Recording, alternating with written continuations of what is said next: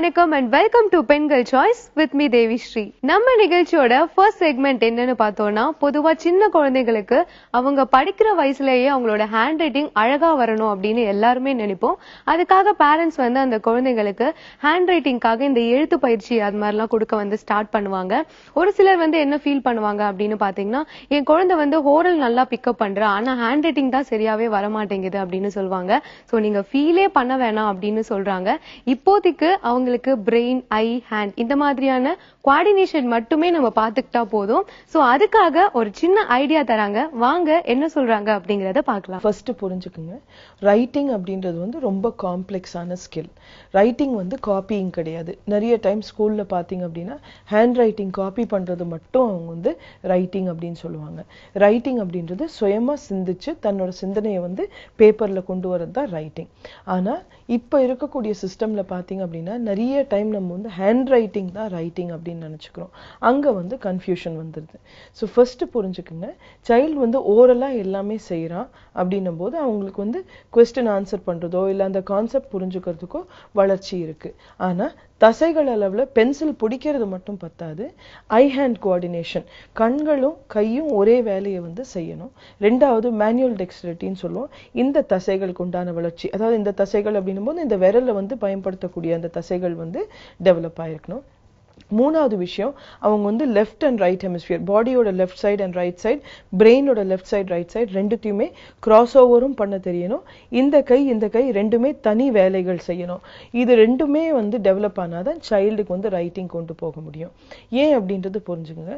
தசைகள்லாம் ரெடியாக இருந்தாலுமே நீங்கள் வந்து ஒரு எழுத்தோட உருவம் அதாவது இப்போ ஏ பார்க்குறீங்க இல்லை தமிழ் எழுத்து கா அப்படிங்கிறது பார்க்குறீங்க அப்படின்னா அந்த உருவத்தை மட்டும் பார்க்கறது வந்து பிரெயினோட லெஃப்ட் சைடு ஆனால் அதுக்கு வந்து இப்போ நீங்கள் கா அப்படிங்கிறது நீங்கள் வந்து உருவத்தை மட்டும் பார்க்குறீங்கன்னா அதுக்கு சவுண்ட் ஆட் பண்ணக்கூடிய பகுதி வந்து ரைட் சைடு பிரெயினோட லெஃப்ட் சைடு ரைட் சைடு ரெண்டுமே கிராஸ் ஓவர் ஆகும்போது தான் அந்த குழந்தைக்கு வந்து அந்த எழுத்து பார்த்துருக்காங்க அப்படின்னா அதுக்கு உண்டான முழு அனுபவம் கிடைக்கும். இந்த ரெண்டுமே லெஃப்ட் சைடு ரைட் சைடு ரெண்டுமே டெவலப் ஆகிருக்கும் போது மூளையோட பல பகுதிகள் வந்து நெக்ஸ்ட் சப்போர்ட் பண்ணி அந்த பார்த்துருக்க எழுத்தை வந்து அவங்க வந்து ஃபாலோ பண்ணி ரைட் பண்ணணும். ஸோ கிட்டத்தட்ட பிரெயின் ரிசர்ச்சில் பார்த்தீங்க அப்படின்னா எழுத்து அப்படின்னு நீங்கள் எடுத்தீங்க அப்படின்னா மூளையில் வந்து இருபத்தி மூணு பகுதிகளாவது வந்து பயன்படுத்தணும். நம்ம என்ன நினச்சிக்கிறோம் அப்படின்னா ஸ்கூலுக்கு அனுப்பிச்சு விட்டோடனே மிஸ் வந்து ஒரு பத்து தடவை எழுதி வச்சுட்டாங்கன்னா அது பழக்கமாயிடும் அப்படின்னு. இது எப்படி நம்மளுக்கெல்லாம் ஈஸியாக செட் ஆச்சு அப்படின்னு கேட்டிங்கன்னா ஃபர்ஸ்ட் ஆஃப் ஆல் நம்மளுக்கு வந்து ஸ்கூல் வந்து கொஞ்சம் லேட்டராக ஸ்டார்ட் பண்ணோம் எல்லாமே வந்து ரெண்டு வயசு ரெண்டரை வயசுலலாம் யாருமே ஸ்கூலுக்கு போகல. ரெண்டாவது உடல் ரீதியாக நிறைய வளர் வளர்ச்சி வந்து நம்மளுக்கு வந்து விளையாட்டு மூலமாக செட் ஆச்சு.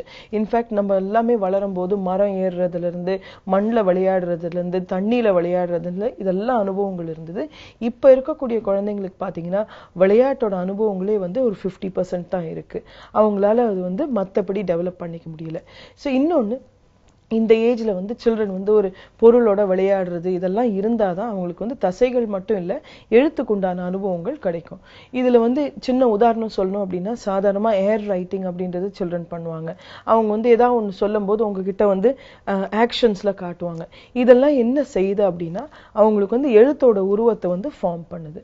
பெற்றோர்களாக நீங்கள் வந்து வீட்டில் என்ன செய்யலாம் அப்படின்னா சைல்டுக்கு வந்து ரைட்டிங்கில் மட்டும் இப்போ டிஃபிகல்ட்டி இருக்குது அப்படின்னும் போது நீங்கள் அப்படி சப்போஸ் அவங்களுக்கு தெரப்பி கொடுக்கணும்னு ஆசைப்பட்டீங்க அப்படின்னா ஆக்குபேஷனல் தெரப்பிஸ்ட்டை பார்க்கலாம். ஆக்குபேஷனல் தெரப்பியில் வந்து நரம்பியன்கள் அளவுல வந்து எதாவது பிரச்சனைகள் இருந்தது அப்படின்னா அதை வந்து விளையாட்டு போக்குலயும் எக்ஸசைஸ்லயும் அது வந்து சேஞ்ச் பண்ணுவாங்க. இது வந்து பிசியோதெரப்பி கிடையாது. ஆக்குபேஷனல் தெரப்பி அப்படின்னும் போது பிரெயினில் இருக்கக்கூடிய பார்ட்ஸை வந்து கோஆர்டினேட் பண்ணிவிடும்.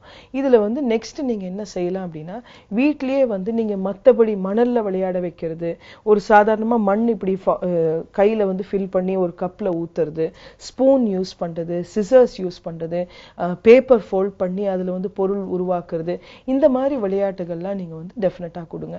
அதே சமயத்தில் தன்னோட ஃபுல் ட்ரெஸ்ஸிங் அதாவது லேஸ் கட்டுறது பட்டன் போடுறது இந்த மாதிரி ஒர்க்கில் எல்லாமும் கொஞ்சம் வந்து அவங்கள ஃபோக்கஸ் பண்ண விடுங்க. இது போக நெல் அந்த மாதிரி இருந்தால் நெல்லில் எழுத விடுங்க. இல்லை மணலில் எழுத விடுங்க. ரா- ராஜ்மா பருப்பு இருக்குது அப்படின்னா அதை வந்து ஒரு பையில போட்டுட்டு அதுக்குள்ளே கையை விட்டு வேற ஏதாவது ஒரு பொருள் தேடி வெளியே எடுக்கிறது. என்ன பண்ணுறோம் அப்படின்னா இந்த தசைகளுக்கு வேற வேற அனுபவங்கள் வந்து நம்ம கொடுத்து பழக்கிறோம் இந்த அனுபவங்கள் நீங்கள் கொடுக்கும்போது சைல்டுக்கு என்ன ஆகும் அப்படின்னா பிரெயினில் வந்து பல பகுதிகளுக்கு வந்து வளர்ச்சி அடையும். நான் ஏற்கனவே சொன்ன மாதிரி ரைட்டிங்க்கு வந்து பல பகுதிகள் வந்து டெவலப் ஆகணும். ஸோ இந்த வளர்ச்சி வந்து நரம்பியன்கள் அளவில் நடந்தாதான் நீங்கள் தசைகள் அளவுக்கு அதை வந்து கொண்டு வர முடியும். தசைகள் அளவில் மட்டும் நீங்கள் மாற்றங்கள் கொண்டு வந்துட்டு நரம்பியன்கள் லெவலில் நீங்கள் வந்து மாற்றங்கள் கொண்டு வரல அப்படின்னா அது கண்டிப்பாக ரைட்டிங்காக மாறாது. காப்பிங் வேணால் வரலாம். நீங்கள் ஏன் எழுதுனா ஏன் எழுதுவாங்க. ஆனால் அது வந்து புரிதலோட எழுதுறது வந்து செட் ஆகாது. இதுக்கு தான் நம்ம வந்து பெற்றோர்களாக வீட்டில் இருக்கக்கூடிய என்வாயர்மெண்ட் அதாவது நம்ம இருக்கக்கூடிய சூழலில் வந்து நிறைய அவங்க வந்து லேர்ன் பண்ணிக்கக்கூடிய சான்சஸ் வந்து நம்ம கொடுக்கணும். நிறைய பொருளோட அவங்க வந்து எக்ஸ்பெரிமெண்ட்ஸ் பண்ணுறதுக்கு உண்டான சான்சஸுமே கொடுக்கணும். சாதாரணமா வீட்டில் வந்து பாட்டிலுக்கு மூடி போடுறதுல இருந்து நீங்க பாத்தீங்க அப்படின்னா எல்லாமே வந்து தசை வளர்ச்சிக்கும் சரி மத்தபடி ஐ ஹேண்ட் கோஆர்டினேஷனுக்கும் சரி நிறைய சான்சஸ் வந்து அவங்களுக்கு செட் பண்ணி கொடுக்கும். சிசர்ஸ் யூஸ் பண்ணும்போது ஹேண்ட்ஸ் யூஸ் பண்ணும்போது அவங்களுக்கு நிறைய வளர்ச்சி கிடைக்கும். இந்த அனுபவங்கள்லாம் எதுவுமே கொடுக்காம டைரெக்டாக ரைட்டிங் அப்படின்னு நீங்கள் போனீங்க அப்படின்னா சைல்டுக்கு வந்து டிஃபிகல்ட்டிஸ் இருக்கும். ஸோ பெற்றோர்களாக நீங்கள் என்ன செய்யலாம் அப்படின்னா ரைட்டிங் மேலே மட்டும் ஃபோக்கஸ் பண்ணாமல் வீட்டில் இருக்கக்கூடிய என்வாயர்மெண்ட்ல அவங்களுக்கு வந்து தன்னோட தசைகள் மற்றபடி eye eye hand coordination develop பண்ணுறதுக்கு நிறைய விளையாட்டுகள் நிறைய ஆக்டிவிட்டீஸ் கொடுத்து பழக்கிடுங்க அதுக்கப்புறம் என்ன செய்யலாம் அப்படின்னா ஸ்லோவாக அவங்களுக்கு வந்து ஏர் ரைட்டிங் அவங்க ஹேண்ட்ஸ் வச்சு அயர் ரைட்டிங் இந்த மாதிரி மூவ்மெண்ட்ல அவங்களுக்கு வந்து ரைட்டிங் சொல்லி கொடுங்க. ரெண்டாவது உப்பு காகிதத்துலயோ மணல்லையோ அவங்கள எழுத விடுங்க. தண்ணியில ஒரு டப் ஆஃப் வாட்டர்ல எழுத விடுங்க. இந்த மாதிரி நீங்க வந்து மத்த ஃபோக்கஸ் கொடுக்க ஆரம்பிச்சிங்க அப்படின்னா அவங்க வந்து நெக்ஸ்ட் பென்சில் பிடிக்கிறதுக்கு ரெடி ஆயிடுவாங்க. நேரடியாக பென்சிலோ பேனாவோ கொடுத்து இதுல மட்டும் ரைட்டிங் பண்ணணும் அப்படின்னும் போது சில்ட்ரனுக்கு டிஃபிகல்ட்டிஸ் இருக்கும். இதெல்லாம் ரொம்ப உங்களுக்கு வந்து டிஃபிகல்ட்டி ஃபேஸ் பண்ற மாதிரி இருந்தா ஆக்குபேஷனல் தெரப்பி இவாலுவேஷன் எடுத்து ஒரு ஃபியூ டேஸ் தெரப்பி கூட நீங்க போகலாம் இது வந்து லாங் டேர்மில் செட் பண்றதுக்கு நரம்பியன்கள் அளவுலையும் மாற்றங்கள் கொண்டு வரணும் தசைகள் அளவுலையும் மாற்றங்கள் கொண்டு வரணும் புரிதல் அளவுலையும் மாற்றங்கள் கொண்டு வரணும். நம்ம நிகழ்ச்சியோட அடுத்த செக்மெண்ட்ல நம்ம பார்க்க போறது traditional ethnic Indo western collections இருக்க ஸ்டோர்ல தான் பார்க்க போறோம். நிறைய கலெக்ஷன்ஸ் வச்சிருக்காங்க. அது மட்டும் இல்லாம கஸ்டமைஸ் சாரீஸ் வந்து நிறைய வச்சிருக்காங்க. இது வந்து சேலுக்கும் இருக்கு அப்படின்னு சொல்றாங்க. வாங்க எந்த மாதிரியான கலெக்ஷன்ஸ் இருக்கு அப்படிங்கறத பார்க்கலாம்.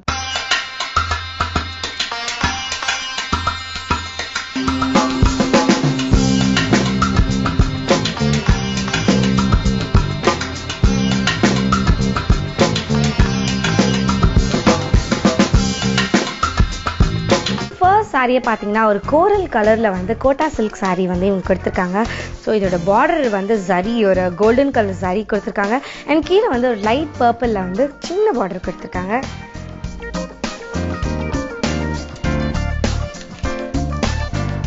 ஸோ அடுத்த சாரீ பார்த்தீங்கன்னா ஒரு bright blue colour bandhani saree. So இந்த saree பார்த்தீங்கன்னா ப்ளூனாலே நம்மளுக்கு வந்து டக்குன்னு அதோட ஆப்போசிட் கலர் என்னன்னா பிங்க் தான். ப்ளூ அண்ட் பிங்க் வந்து இட் கோஸ் வெல் ஸோ வந்து அந்த மாதிரியான ஒரு கலெக்ஷன் தான் இவங்க வந்து டிசைன் பண்ணியிருக்காங்க. ஸோ இந்த பாந்தினியில் பார்த்தீங்கன்னா ஒரு ரா சில்கில் வந்து பார்டர் கொடுத்துருக்காங்க. நீங்கள் ஃபுல்லாக ஒயிட் கலர் எம்ப்ராய்டரி கொடுத்துருக்காங்க. ஸோ ரொம்பவே டிஃப்ரெண்ட்டாக ப்ரைட்டான சாரீ இது. ஸோ அடுத்த சாரி பார்த்தீங்கன்னா சந்தேரி சாரி இது வந்து ஆக்சுவலி இங்கே ஃபுல்லாக பிங்க் அண்ட் பிளாக் காம்பினேஷனில் கொடுத்துருக்காங்க.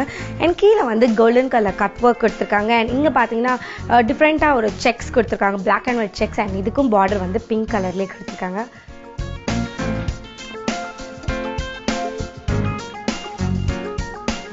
அடுத்த saree பார்த்தீங்கன்னா ஒரு டிஃப்ரெண்ட்டான saree. இதில் வந்து ரெண்டு ஃபேப்ரிக்ஸ் வந்து இன்ஃப்யூஸ் பண்ணியிருக்காங்க பிராசோ பல்லுவில் வந்து ஸ்ட்ரைப்ஸ் ஜார்ஜெட் வந்து கொடுத்துருக்காங்க. So black and cream uh, கலரில் இருக்க இந்த சாரியோட காம்பினேஷன் ரொம்பவே uh, சிம்பிளாக ரொம்பவே நீட்டாக ரொம்பவே ரிச்சாக இருக்குது இந்த saree பார்க்கறதுக்கு ஸோ வந்து இதோட பார்டர்லேயும் பார்த்தீங்கன்னா நமக்கு வந்து கோல்டன் கலரில் எம்ப்ராய்டரியில் ஸ்டோன் ஒர்க் எடுத்துருக்காங்க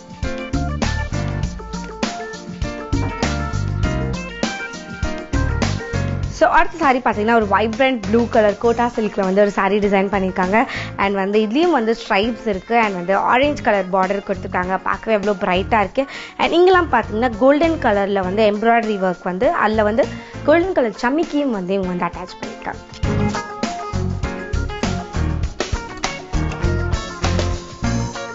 ஸோ அடுத்த சாரீ பார்த்தீங்கன்னா ரொம்ப பார்ட்டி வேர் saree கிடையாது. பட் வந்து நம்ம வந்து டெய்லி யூஸ் பண்ணுற saree அதாவது ஒரு ஆஃபீஸ் போகிறோம் அப்படின்னு சொல்லிட்டு நம்ம இந்த சாரீ ஒகேஷனலாக கட்டிட்டு போகலாம் அண்ட் வந்து இது பார்த்தீங்கன்னா georgette and satin mixed saree. இங்கே வந்து நமக்கு ஜார்ஜெட் கொடுத்துருக்காங்க. அண்ட் இந்த லைன் வந்து நமக்கு சாட்டன் கொடுத்துருக்காங்க. அண்ட் ஃபுல் அண்ட் ஃபுல் வந்து ஒரு ஃப்ளா ஃப்ளார் பிரிண்ட் இருக்குது அண்ட் கீழே பார்த்தீங்கன்னா ஒரு நார்மல் பிளாக் பார்டர் கொடுத்துட்டு ஒரு கோல்டன் கலர் பார்டர் கொடுத்துருக்காங்க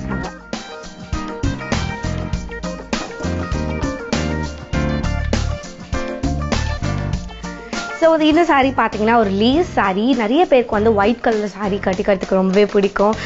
இது வந்து லேஸ் பார்த்தீங்கன்னா ஒயிட் அண்ட் கோல்டன் கலரில் இருக்கு. ஒரு க்ரீம் கலரில் இருக்கு. அண்ட் இதோட பார்டரில் வந்து full and full pearl attach பண்ணியிருக்காங்க. நிறைய லைன்ஸ் ஆஃப் பேர்ல் இருக்கு.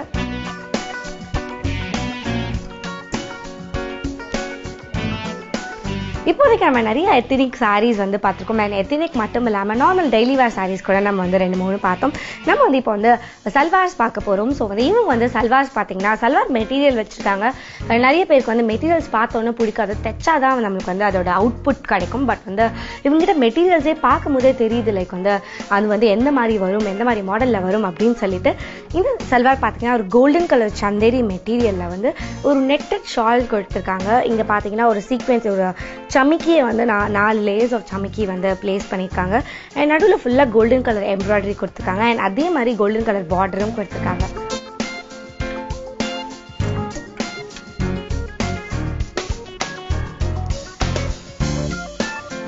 ஸோ அடுத்த சல்வார் பார்த்தீங்கன்னா ஒரு ரா சில்க் ஒரு பிளாக் கலர் ரா சில்கில் வந்து இங்கே வந்து கீழே வந்து பார்டர் வந்து லீஃப் பார்டர் கொடுத்துருக்காங்க. Cut work leaf border golden கலரில் கொடுத்துருக்காங்க. அண்ட் இங்கே வந்து அந்த ரா சில்க்லேயே வந்து ஒரு கோல்டன் கலர் பேட்டர்ன் வர மாதிரி ஒரு பார்டர் கொடுத்துருக்காங்க. அண்ட் இதோட ஷால் வந்து நெட்ரெட் ஷால் கொடுத்துருக்காங்க.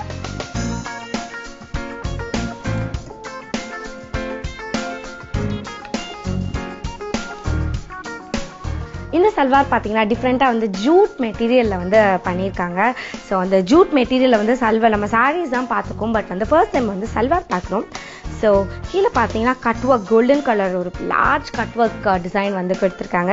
அண்ட் இதோட ஷால் பார்த்தீங்கன்னா ஒரு நெட்டட் ஷாலில் வந்து எம்ப்ராய்டரி வர மாதிரி கொடுத்துருக்காங்க. And வந்து இங்கே வந்து ரா சில்க் அட்டாச் பண்ணிட்டு அவங்க வந்து ஒரு கோல்டன் கலர் பார்டர் கொடுத்துருக்காங்க. ஸோ ரொம்பவே டிஃப்ரெண்ட்டான சல்வார் இது.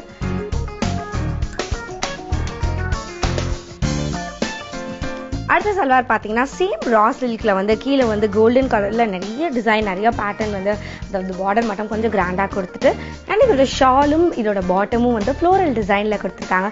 ஸோ வந்து இப்போ இந்த ஃப்ளோரல் டிசைனே ரொம்ப வைரலாக நிறைய பேருக்கு வந்து பிடிச்சிட்டு இருக்கு. ஸோ அந்த மாதிரியான சல்வார் தான்.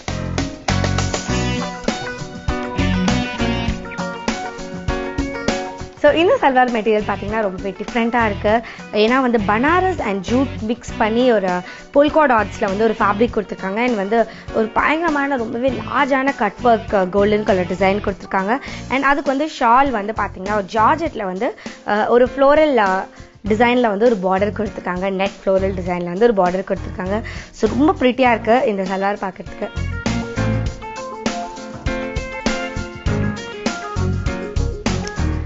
இந்த சல்வார் பார்த்தீங்கன்னா ஒரு ரா சில்க் ஒரு green colour dark green colour raw சில்கில் வந்து அண்ட் uh, இதோட ஷால் பார்த்தீங்கன்னா ரெட் கலர் ஒரு மாதிரி ஆரஞ்ச் அண்ட் ரெட்டிஷ் கலரில் இருக்குது ஸோ இதே கலரில் வந்து பார்டர் கொடுத்துருக்காங்க. அண்ட் குந்தன் ஸ்டோன்ஸ் மாதிரி வச்சுருக்காங்க வச்சிருக்காங்க. ஸோ வந்து இதோட பார்டரும் க்ரீன் கலரில் இருக்குது ஸோ ரொம்ப பிரைட்டான வைப்ரட்டான கலரில் வந்து ரொம்பவே ட்ரெடிஷ்னலான சல்வார்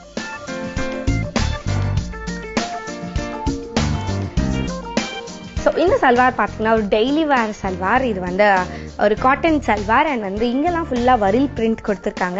அண்ட் இதுக்கு ஏற்ற மாதிரியே ஒரு ஷால் கொடுத்துருக்காங்க. ரொம்ப நீட்டாக ஒரு ஆஃபீஸ் கோவர்ஸ்லாம் வந்து போட்டுட்டு போகிற மாதிரியான சல்வார் தான்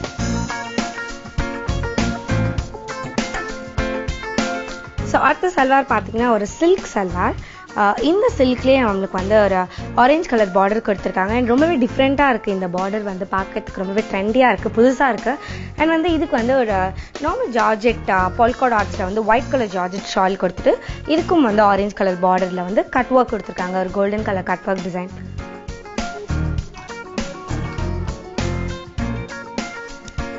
so இந்த சல்வார் பார்த்தீங்கன்னா என்னோட ஃபேவரட் சல்வார். இந்த கலர் காம்பினேஷன் வந்து எனக்கு ரொம்ப பிடிக்கும். ஏன்னா வந்து ஒரு grey colour ash colour and pink colour combination இது.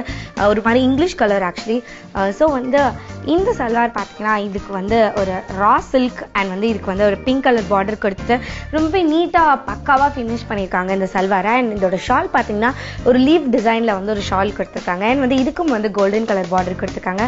ரொம்பவே நீட்டாக ரொம்பவே எத்தனிக்காக நான் ஒரு சூப்பரான சல்வார் தான் நம்ம நிகழ்ச்சியோட அடுத்த செக்மெண்ட்ல நம்ம பார்க்க போறது இப்ப இருக்க லைஃப் ஸ்டைல்ல பாத்தீங்கன்னா பொதுவா நம்ம பணம் பணம் அப்படின்னு சொல்லிட்டு பணத்து பின்னாடியே ஓடிட்டு இருக்கோமே தவிர்த்து நம்ம லைஃப்ல என்ஜாய்மெண்ட் ஒன்னு இருக்கா அப்படின்னா இல்ல அப்படின்னு தான் சொல்லணும். சோ நம்ம லைஃப்ல பினான்ஸ் அளவுல என்னைக்குமே ஒரு கோல் செட்டிங் இருக்கணும். ஆனா இப்ப இருக்க சூழ்நிலையில நிறைய பேர் அதை செட் பண்றதே கிடையாது. ஓ வருதா? ஓகே இதுக்கு ஏத்த மாதிரி இது மாதிரி பண்ணலாம் அப்படின்னு சொல்லிட்டு எதுக்கு இம்பார்ட்டன்ஸ் தரணும்? எப்படி நம்ம சேவ் பண்ணணும் அப்படிங்கிற ஒரு கோலே இல்லாம இருக்கு. இங்க ரெண்டு பேர் எப்படி அழகா கோல் செட் செட்டிங் பண்ணிருக்காங்க அப்படிங்கறத நம்ம கிட்ட ஷேர் பண்றாங்க. வாங்க என்ன மாதிரியான கோல் செட் பண்ணிருக்காங்க அப்படிங்கறத பார்க்கலாம். ரொம்ப இன்ட்ரெஸ்டிங்கான ஃப்ரெண்ட்ஷிப்ங்க எங்களோடது. கவிதாவும் நானும் சின்ன வயசுல இருந்தே வந்து ரொம்ப ரொம்ப க்ளோஸ் ஃப்ரெண்ட்ஸ் எங்க வீட்டுக்கு பக்கத்துல தான் அவங்க வீடு இருந்தது. எங்க போனாலும் சேர்ந்தே தான் போவோம். சேம் கிளாஸஸ்க்கு தான் போவோம். ஆனா ரெண்டு பேரும் வந்து ரொம்ப வித்தியாசமான மக்கள். அப்பவே சின்ன வயசுலயே அவ வந்து பயங்கரமா ட்ரெஸ் எல்லாம் பண்ணிப்பா லேட்டஸ்ட் ஃபேஷன் தான் போட்டுப்பா. நான் வந்து ஒரே ட்ரெஸ் நாலு வருஷம் கூட போட்டுக்கிறத பத்தி ஐ ஒன்ட் மைண்ட் இட் ஒரே சைக்கிள பல வருஷமா நான் ஓட்டிட்டு இருந்தேன். அவ வந்து லெவன்த் ஸ்டாண்டர்ட் வரும்போதே புது பைக் எல்லாம் வாங்கிட்டா. இன்னைக்கும் அப்படிதான். மாறவே இல்லை. நான் ஒரு ஃபோன் வாங்குறதா இருந்தானா ஏதோ ஒரு பத்தாயிரம் ரூபாய்க்கு ஒரு பேசிக் மாடல் ஃபோன் வாங்குவேன். அவள் வந்து ஒரு ஐம்பதாயிரம் ரூபா அறுபதாயிரம் ரூபா லேட்டஸ்ட் கேஜெட் அது மாதிரி தான் வாங்குவாள் ஸோ நாங்கள் ரெண்டு பேரும் இவ்வளோ எக்ஸ்ட்ரீமாக இருக்கும்போது எப்படி ஃப்ரெண்ட்ஸாக இருக்கும் அப்படின்னு கூட நிறைய ஃப்ரெண்ட்ஸ் எங்களோடது வந்து ரொம்ப ஆச்சரியப்படுவாங்க.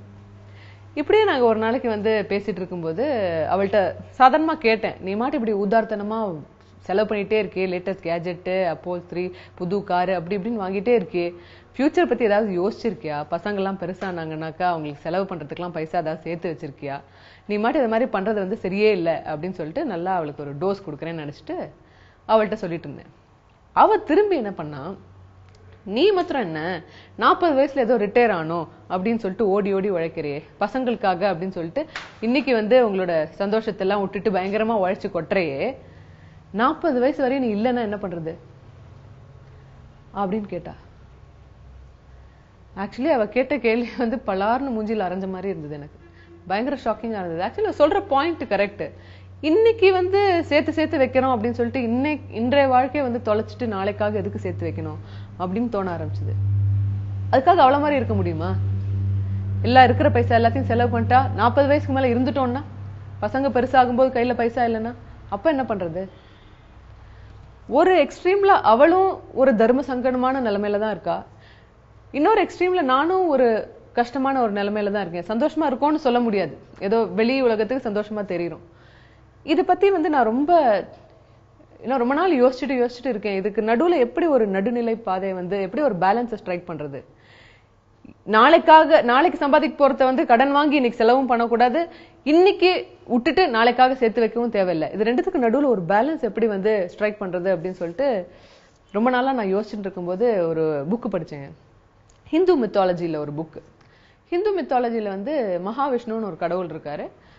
லக்ஷ்மின்னு ஒரு கடவுள் இருக்காங்க. மகாவிஷ்ணுவோட ஒய்ஃப் தான் வந்து லக்ஷ்மி அப்படிங்கிறது வந்து ஹிந்துவிசம்ல சொல்றாங்க. மகாவிஷ்ணு அப்படிங்கிற கடவுள் வந்து வாழ்க்கையின் ஒரு குறிக்கோள் அதாவது பர்பஸ் ஆஃப் லைஃப் டினோட் பண்ற வந்து ஒரு காட் லக்ஷ்மி வந்து வந்து செல்வத்தின் கடவுள். மகாவிஷ்ணு இல்லாம லக்ஷ்மி இருக்க மாட்டாங்களாம். எந்த கதையிலுமே மகாவிஷ்ணு இல்லாம லக்ஷ்மியை பார்க்க முடியாது அப்படிங்கிறது தான் அந்த ஹிந்து மித்தாலஜியில சொன்ன ஒரு விஷயம். அந்த விஷயத்தை படிச்சோன்னே எனக்கு வந்து திடீர்னு ஒரு ஞானோதயம் மாதிரி வந்தது. ஆக்சுவலாக அது ரொம்ப உண்மை. எங்கள் ரெண்டு பேருக்குமே ஒரு பர்பஸ் ஆஃப் லைஃப் எதுக்காக நம்ம பைசா சேர்த்து வைக்கிறோம்? எதுக்காக பைசா சேர்த்து வைக்கணும்? அப்படிங்கிறது புரியாமல் இருக்கிறதுனால தான் இந்த பணத்தை பற்றியான பயங்கரமான கன்ஃபியூஷன் வருது. அப்படின்னு எனக்கு தோணுச்சு. இதை வந்து நான் அவகிட்டையும் ஷேர் பண்ணேன். பெஸ்ட் ஃப்ரெண்ட் ஆச்சே. நம்ம ஒரே மாதிரி திங்க் பண்ணோம்ல. அவளும் கரெக்டாக புரிஞ்சுட்டா. நீ சொல்றதுல ஒரு பாயிண்ட் இருக்கு. லெட் சிட் டவுன் அண்ட் இது குறிக்கோள்கள் வாழ்க்கையில என்ன இம்பார்ட்டன்ட் அப்படிங்கறத பத்தி பண்ணலாம் அப்படின்னு சொல்லிட்டு ஒரு நாளைக்கு ஒவ்வொரு டீ நாங்க வந்து உட்காந்து அதை பத்தி பேசினோம். அவளும் வந்து லைஃப்ல எனக்கு என்னெல்லாம் பண்ணணும்? பிஃபோர் ஐ டை நான் என்னெல்லாம் பண்ணணும்னு விருப்பப்படுறேன்? அப்படின்னு ஒரு பர்பஸ் ஆஃப் லைஃப் எழுதினா நானும் வந்து என்னோட லிஸ்ட்ல வந்து என்னோட என்னெல்லாம் கோல்ஸ் இருக்கு அப்படிங்கறத எழுதினேன். அவளும் அவளோட பசங்களோட படிப்பு அவங்க கல்யாணம் அவளோட ரிட்டையர்மெண்ட் வீடு அப்படின்னு வந்து எழுதினா அதுக்கு எவ்வளவு பைசா தேவைப்படும் அதுக்கு எவ்வளவு பைசா இப்போ சேர்த்து வைக்கணும் அப்படிங்கறது எல்லாத்தையும் கணக்கு போட்டு பார்த்தா. நானும் அதே மாதிரி என்னோட சைடில் வந்து பசங்களுக்கு என்னோட ரிட்டையர்மெண்ட்டுக்கு ஃபியூச்சருக்கு அப்படின்னு சொல்லிட்டு என்னோட கணக்கு போட்டு பார்த்தோம். அவளோட சைட்லேருந்து என்னாச்சுன்னா இவ்வளோ பைசா தேவைப்படுமே அதுக்காக நான் இவ்வளோ பைசா சேர்த்து வைக்கணுமே அப்படிங்கிற ஒரு ரியலைசேஷன் அவளுக்கு வந்த உடனே தானா ஒரு ரெண்டு மூணு மாசத்துல செலவுகளெல்லாம் குறைச்சிட்டாங்க. பயங்கர ஆச்சரியமா இருந்தது எங்களுக்கு. அவளுக்கு வந்து அந்த கோல் செட் பண்ணது வந்து ஒரு மேஜிக் மாதிரி ஆயிடுச்சு. இதே இன்னொரு பக்கத்துல பசங்களுக்காக இவ்வளவு சேர்த்து வைக்கணும். நான் செய்யறதெல்லாம் கரெக்டா தான் இருக்கு. நான் சேர்த்து வைக்கிற பைசா போதும். அப்படின்னு எனக்கு தெரிஞ்ச உடனே இன்னைக்கு ஜாஸ்தியா இருக்கிற பைசா செலவு பண்ணலாமே. என் இஷ்டத்துக்கு பண்ணலாமே. எதுக்கு இன்னைக்கு வந்து விட்டு கொடுக்கணும்? அப்படிங்கிற ஒரு தைரியமும் எனக்கு வந்தது. இன்ஃபேக்ட் பத்து வருஷத்துல நாங்க கல்யாணம் ஆகி பத்து வருஷம் ஆச்சு. இது நாள் வரையும் ஒரு ஹாலிடே கூட நாங்க போனது இல்லைங்க ஒவ்வொரு தடவை எங்க ஹஸ்பண்ட் வந்து எங்கேயாவது போலாம் அப்படின்னு சொன்னானா எதுக்கு? இப்ப தேவையில்ல வேண்டாத செலவு. ஃபியூச்சருக்கு என்ன பண்ணுவோம்? பசங்களுக்கு படிப்புக்கு என்ன பண்ணுவோம்? அப்படின்னு நொய் நொய் நொய் நச்சு எங்கேயும் ஹாலிடேக்கு போக விட மாட்டேன். ஆனா இந்த கோல் செட் பண்ணி ஃபியூச்சருக்கு எனக்கு இவ்வளவு பைசா தேவைப்படும். இதெல்லாம் நான் கரெக்டா பண்ணிட்டு இருக்கேன் அப்படின்னு தெரிஞ்ச உடனே ஒரு தைரியம் வந்தது பார்க்கணும். இந்த டென்த் ஆனிவர்சரிக்கு நாங்கள் ஒரு ஃபாரின் டூர் போயிட்டு வந்தோங்க. இது என்னை பொறுத்தவரையும் வந்து ஒரு பெரிய அச்சீவ்மெண்ட் திடீர்னு வந்து வாழ்க்கையில் ஒரு ஹாப்பினஸ் தேடி கண்டுபிடிச்ச மாதிரி ஒரு ஒரு சந்தோஷம் வந்துருச்சு. அவளும் ஃபியூச்சரும் சேஃபா இருக்கு. அதனால இன்னைக்கு சேஃபா இருக்கு அப்படிங்கறது தெரிஞ்சுட்டு சந்தோஷமா இருக்கா? நானும் என்னோட ஃபியூச்சரும் சேவா இருக்கு. அதுக்காக நான் இன்னைக்கு வந்து விட்டு கொடுக்க போறது இல்லை அப்படிங்கிற ஒரு தைரியத்துல தேவையான செலவுகள்லாம் பண்ணிட்டு இருக்கேன். I am finding this awesome